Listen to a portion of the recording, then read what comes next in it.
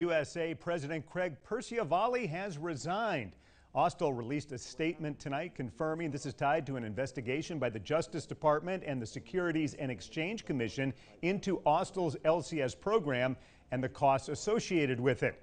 Chief Financial Officer Rusty Murdaugh is taking over as interim president. Austal is Mobile's largest industrial